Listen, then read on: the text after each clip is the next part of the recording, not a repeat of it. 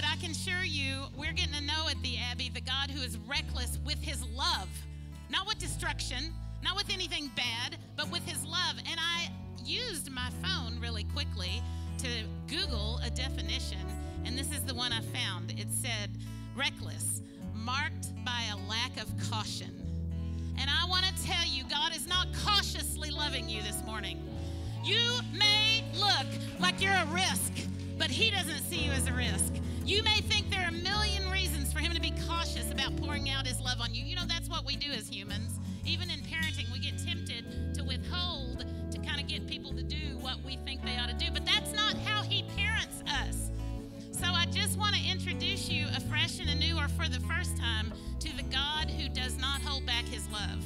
The lie in the Garden of Eden was that he was holding something back. That's the accusatory lie of our Father.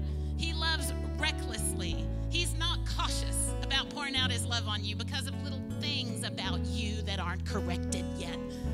He doesn't think that. And I heard the word refreshing in the house this morning. And I really believe there's a refreshing, and we're going to pray into that. Roberta Gross is having a major refreshing over there. I don't know the dimensions or the scope or the, but I know it's happening to you. But she is a point of contact for all of us. And the kind of refreshing I mean, you know, sometimes we use these words and they sound touchy feely. And hey, touchy feely's okay if you need it, if you need a touch and a feel, right?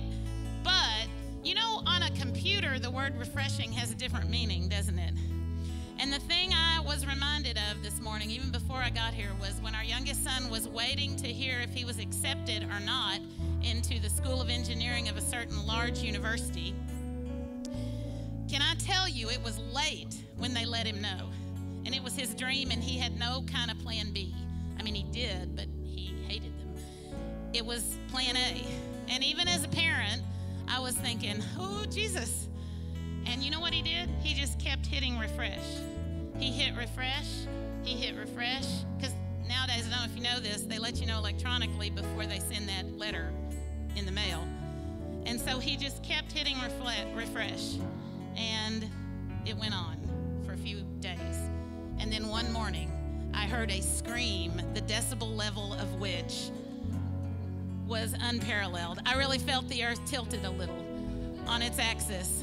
And I knew he either got good news or bad news, but I knew he had hit refresh one more time. And indeed, the news was guess what, Noel Brownback? You're accepted. And I just want to say this morning some of you may have hit refresh before. Some of you may have made a stab at Christianity, made a stab at believing God loved you before. Can I challenge you? Hit refresh again today. You are accepted. He is not viewing you with caution. And if you've ever pushed that button and thought, yeah, I'm not in yet, I'm not good enough yet, I'm not accepted yet, that was the stuff in your head that was standing in the way of the truth. But it's a new day, and there is refreshing, just like the cool, crisp air outside. Hallelujah. Not even filled with rain right now, it's just cool and crisp. Yeah? So if you want to pray into some refreshing, let's do that right now. Listen, it's feelings, it's it's touchy-feely if you need touchy-feely. God knows how to comfort your emotions. But also, he knows how to refresh dead dreams. He knows how to refresh a sense of his fatherhood. Or even begin it for the first time if you need that. So, Father, we just come to you to now as your people. We all come to you and we yield ourselves to your mighty, refreshing power. Lord, we thank you for, for just doing a work within us, spirit, soul, and body. That we are not those that have given up. We are not those on the sidelines thinking, well, maybe the next people will get through. It's us, Lord. It's us. We're the candidates for your acceptance. We're the candidates for your reckless love. You're, we are the candidates for all that you want to refresh within us. And I'm speaking particularly to some of you who've had some dreams die. Refreshing, refreshing, refreshing. New day, new way. I hear the Lord saying, New day, new way. That old dream's going to take a new form and manifest. That's what creativity is. It's the redo of the old in a fresh new package. God's the master of creativity in your life. Oh, Father, I thank you for refreshing in this auditorium for every single person. Just open your hearts and connect to it. And we just welcome your presence to work and deal and be among us. Be yourself among us, Lord. And show us more than ever before how much we can be ourselves in you. And it's in Jesus, that mighty name that we were singing about, that we pray. Amen and amen. You can give a shout or a clap or whatever you want and be seated. We want to welcome all of you to the Abbey. At the end of the service, our leadership would love to meet you if it's your first time. We'll be right through those doors over there, and we'd love to just take a time and give you a gift and shake your hand and hear your story a little bit and know what brought you here and let you know us. And we also, speaking of refreshing, we also have some guests among us today that have been here years ago. Actually, one of them has, and they're going to come greet you in a minute. We're an international church, aren't we? Last week we had Pastor Roland from Namibia, and uh, today I'm going to invite Rich and Maria Lush to come on up, one or both. So, what you need to know about Rich Lush is that he came, they're from England, you'll hear that clearly in a minute. He came on many, many trips from the church that we have worked closely with in England over the years. In, uh, it's called Aaron Community Church. And then he came and he moved over here and was our children's pastor for a year. Only there was someone back home that was calling him back. Not literally, she wanted the will of God to be done, but anyway, this and Paul and I got to go over in our first ever British wedding to attend, and we actually did the little preach at was their wedding. So I'm going to let them greet you and just share their hearts briefly here. And he's going to be speaking at youth tonight. Hi, good morning. Lots of people. It is. Um, it's just amazing to be back. Um, I just. It's just like coming home. That's what it always feels like. Or always, it's the first time since seven years. It's been seven years well, since we left, or since I left. Maria left on the Skype screen. She wasn't actually here. Um, yeah, I, I, don't even know what to say. I just, um, we love being here, and since coming back, it's just been like being family and being home. And there's something about the Abbey. When, when I came, when I came out all those years ago, and I was saying this to Paul and Perry the other day, I, I'd had a, a rough time with some church stuff that had gone on. Um, not Aaron Church, different one, but um, this is always a place of healing, and it's always felt like a, a place to come and to rest and to be and be refreshed. And um, there's something about the culture of the Abbey and what it creates and what it stirs up. And even for us, we li- we live really busy lives. I work um, for a church as a youth worker, and I work in a food bank, and I'm also studying and doing a bit of bookkeeping on the side, and occasionally have a night off. Um, so just to come and be and to rest has been so amazing for us um, and just so refreshing. Um, so we're just, it's great to be among y'all. Um, it's great to be here. I did say y'all.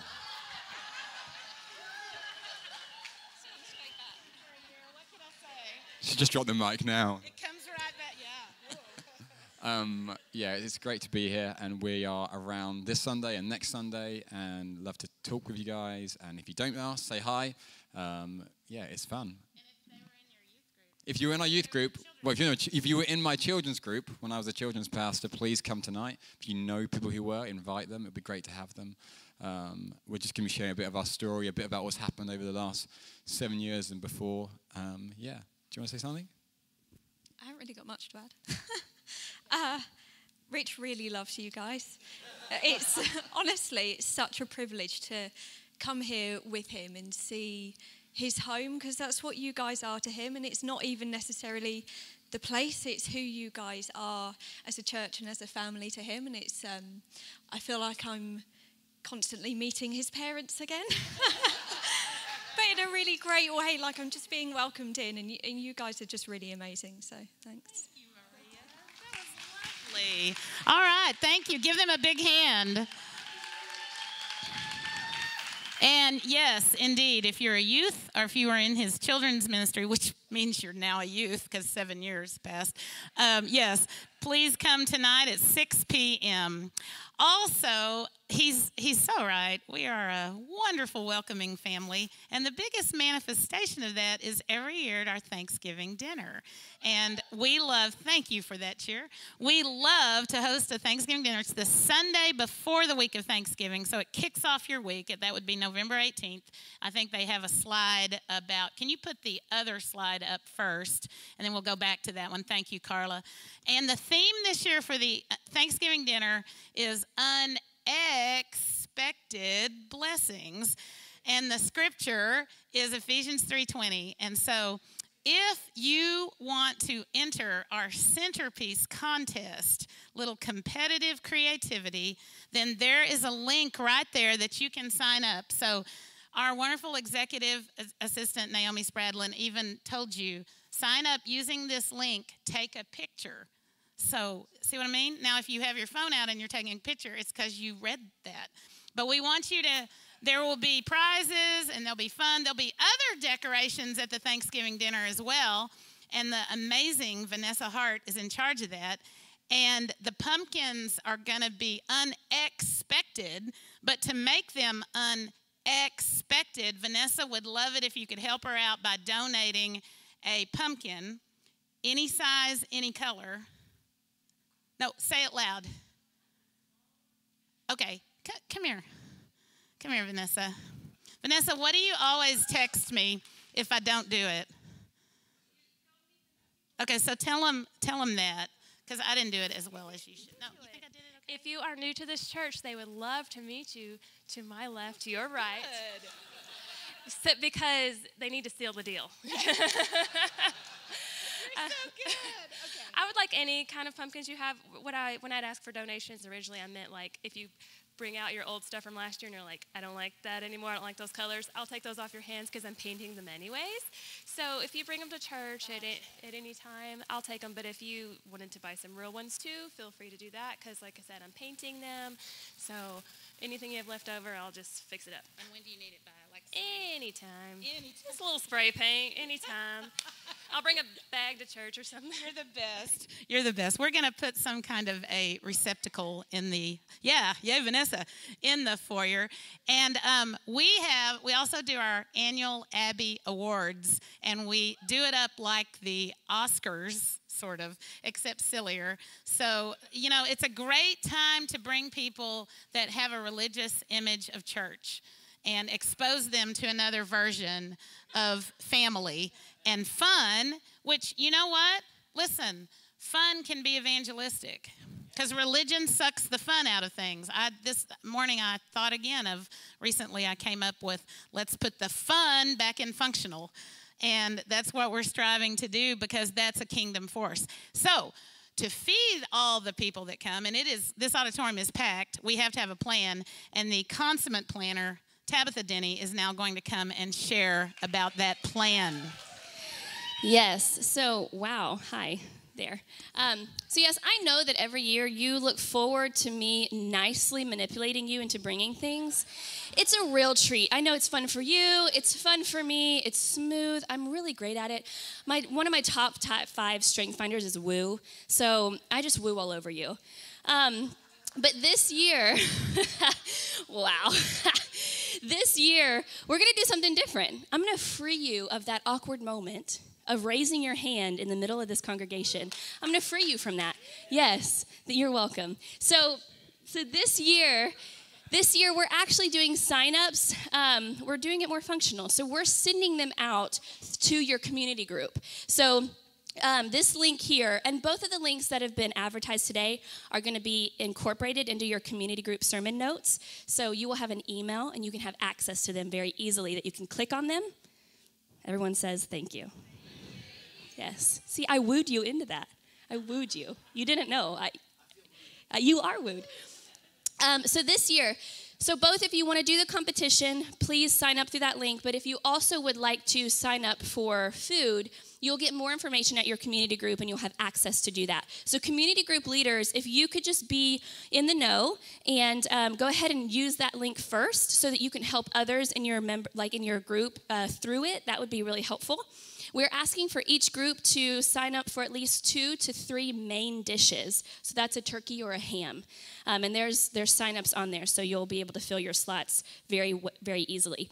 And then everybody else, um, signing up for your main dishes. I've allocated some side dishes um, in the sign up, but if you want to bring something fancy, I've also put in an opportunity for you to fill in the blank, so if so you don't have to feel constricted, so that you, you can woo me. You can woo me that way. It's really great. So please be on the lookout for that. Um, the sooner you sign up, um, the, the more we will know what we can prepare for. And then also, the sign up will add reminders, it will automatically send reminders for you. And everyone said, Wow. So nice. Woo, woo. Yes. Um, okay, and then another announcement that we have is the Ministerial Alliance is looking for volunteers to help with serve at their Thanksgiving dinner, um, or to help with their Thanksgiving dinner. I added serving. I actually don't know that fact for any, for fact. Um, they're looking for people who can come Monday through Wednesday in the mornings, and then also Thursday from 8 a.m. to 3 p.m. If you're interested in volunteering um, this Thanksgiving, please contact. Um, do we have an email for that? No. So Ken, we probably should. We're gonna be. We're gonna send this email to your community groups also, and on the app. Yeah because that's an easy peasy way of doing things, praise God. Um, so you can contact Ken. We'll get your his email out to you so that you can um, say, hey, I'd love to volunteer Monday through Wednesday or Thursday from 8 to 3. Yes? Great? Awesome. Final. Um, final item is we have a worship night coming up on November 4th. I didn't even have to woo you. It woos, it woos in general. Um, so we have a worship night coming up on November 4th, but this is not just any worship night. Um, we actually are celebrating the 30th year of our pastors serving as pastors in the Abbey Church. Yes. So on November 4th, please get here at 6 p.m. We're going to enter into the evening with a night of worship, and then we're actually going to have a reception to follow that really is going to honor them and to celebrate them. If you want to bring gifts, please bring gifts. Monetary gifts are welcomed, tangible gifts are welcomed, prophetic gifts are welcomed, all the gifts. Words of encouragement are welcomed, notes. What other uh, love languages are there? Um, I guess hugs, but let's not get crazy. Um, physical touch, right? Um, okay, so please mark your calendars. We really want to see you and really just want to provide an atmosphere of honor and celebration to our pastors. Um, at this moment, we would like to dismiss our kids to Kids Church and um, get them started. And then I'm going to welcome Joe Brownback. I've got one. Awesome. Well, I think Tab took all of the woo. I normally uh, I normally rely on my charm and wit when I uh, take up the offering today. I I don't know if there's anything left after Tab's been up here. Um, whoa. no, I do. I do actually uh, want to just take a moment to share from my heart. Um, to, before I take up the offering, God's been speaking to me a little bit here recently as we've transitioned in this period of living open-handed, and with our um, building campaign, um, raise the banner. There's the banner.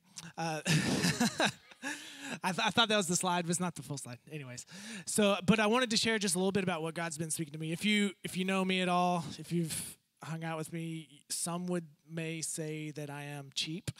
Um, I, I, prefer frugal, frugal. Yeah, um, you know, Alyssa would love to have new carpet in our house or tile actually is what she wants. And my response to that is like well let's just get like at least five more years of use out of the carpet we have until it's just like really bad and then we can replace it. Um, that's just that's just me. So so when i think of when i begin to th- i'll be brutally honest though when i begin to think about you know raising funds to really dress up the outside here that's not my initial um, motivation. I'll be honest. Um, my my initial motivation is okay. Well, how do we bless people? That's what matters is who's in here. Um, but as I prayed into it, and it actually hit me the hardest when we were at the men's retreat. Um, Dwayne White was preaching, and he said something kind of offhand comment in the middle of his sermon, and he made the comment that God's not fair, but He is just and it, it hit me. And at first I was like, that that stings. I don't I don't really understand what that means. I don't I don't know if I like it. Uh, I don't know if I want to understand that.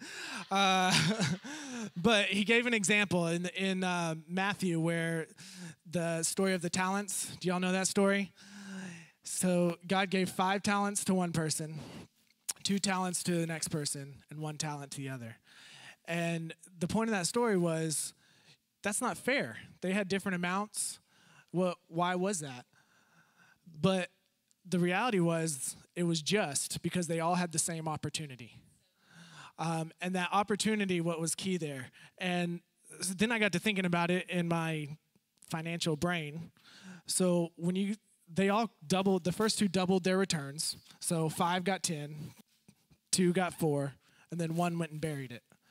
And, and God came back and said, Well done, my good and faithful servant, to the first two, and literally said, Let's throw this last one out.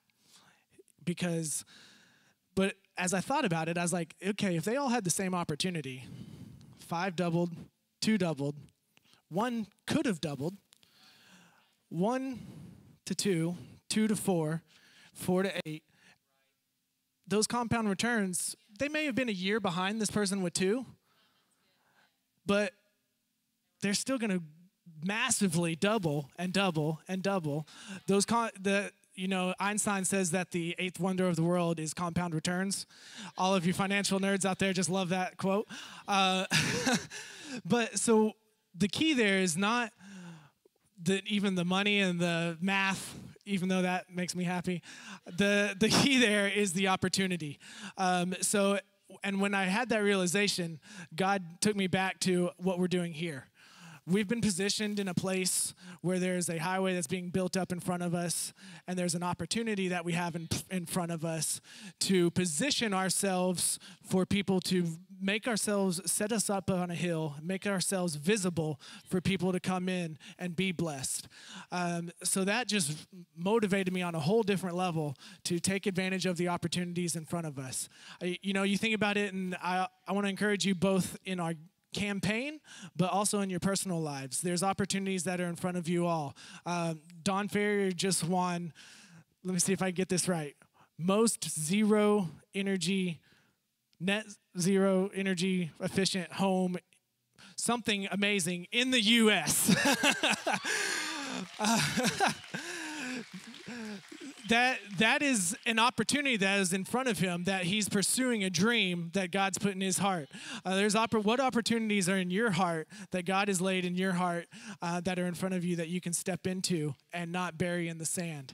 Um, so as you give today i just want to encourage you um, follow what's in your heart. Take that risk. Back to what we were talking about with reckless love this morning. You know the i, I just have to read the scripture real fast because it it hit me. So take the thousand give it to the one who risked the most and get rid of this play it safe who won't go out on a limb. Throw him out into the other darkness. Uh, God wants us to take risks for the kingdom. So I just want to encourage you to take advantage of the opportunities in front of you. Take those steps out in faith. Um, there will be ways to give on the screen. Um, be blessed in your giving. Lord, we just uh, we just bless everyone in this room. We just pray that you'll open their eyes to see the opportunities that are in front of them. Um, speak to them right now, just in in what actionable steps they can take to um, step into your glory and your your destiny for their life. In Jesus' name, Amen.